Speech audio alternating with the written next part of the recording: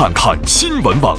北京警方在调查郭美美案中查明，王某涉嫌刑事犯罪，二零一四年七月二十四日被刑拘。如今谈到郭美美，王某说是他一生的噩梦。全全世界没见过，那那那贪贪污是他虚荣啊，虚荣心好强，虚荣心啊，为了为了出名啊，不择手段，为了赚钱啊，啥都干得出来。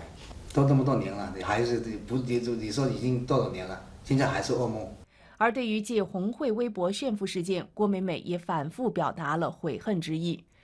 我就想以我自己所能做到的力量去澄清，去把这个真相说出来，还红会一个清白。你就是跟红会深层说一声，就是真的很对不起，非常对不起。然后对老百姓也是，更是对不起，对那些。得不到救助的人，就更是对不起的，对不起。